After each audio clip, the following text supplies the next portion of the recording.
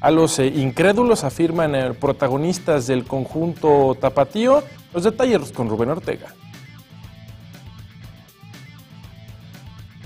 Luego de comenzar con un empate su andar en el Apertura 2016, los rojinegros del Atlas desean convertirse en la sorpresa del torneo, sacando provecho de no ser tomados en cuenta como favoritos. Así lo aseguró Martín Barragán.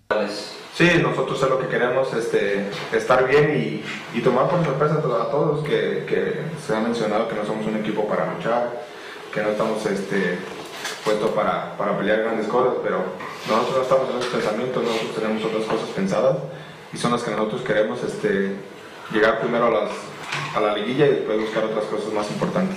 El atacante, quien marcó en el duelo frente a Toluca, espera mantenerse en el 11 titular de los zorros.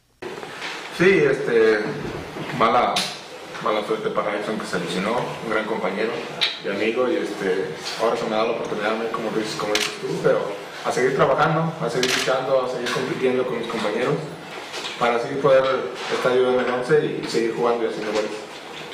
El plantel atlista trabaja con intensidad de cara a su próximo enfrentamiento frente a los Tigres.